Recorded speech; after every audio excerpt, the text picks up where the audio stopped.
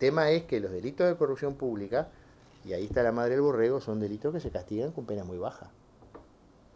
Entonces, en el régimen antiguo, no en este, en el régimen antiguo, para disponer la prisión preventiva era preceptiva cuando se trataba de individuos reincidentes, reiterantes, o este, la pena a recaer era de penitenciaría.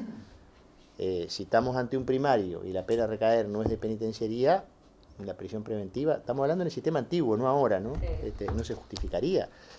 Eh, yo conozco casos de corrupción pública muy connotados donde se han dispuesto, en el sistema viejo, este, no se ha dispuesto la prisión preventiva.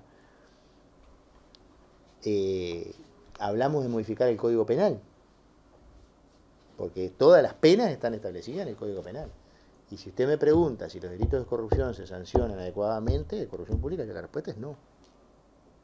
Sin duda que no.